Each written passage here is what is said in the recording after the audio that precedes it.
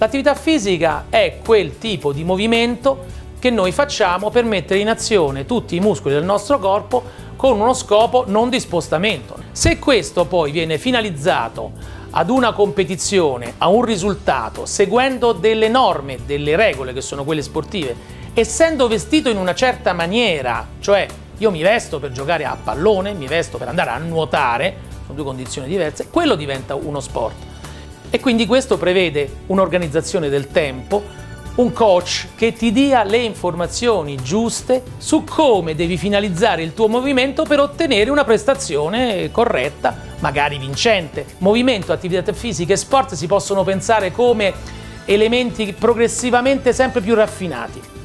Dal semplice movimento del bambino che gattona per proseguire fino al bambino che corre, il bambino che con una palla fa delle cose a volte bellissime insieme ai suoi compagni, ai suoi amici, entra anche il discorso socializzante.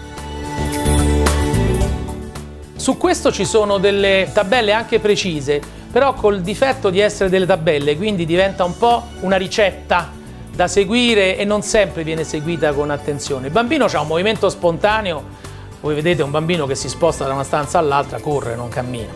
Ha il movimento spontaneo e poi il movimento organizzato.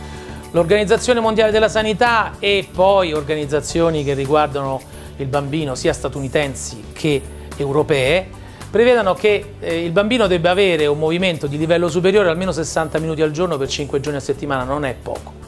Non è poco perché è un lasso di tempo piuttosto lungo, eh, può anche essere frazionato, può anche essere frazionato e quindi avere mh, mm, spot di movimento di varia natura di vario tipo e un bambino che riesca a fare 45 minuti al giorno eh, sarebbe un dato importante, praticamente sarebbe un'ora e mezza di allenamento tre volte alla settimana.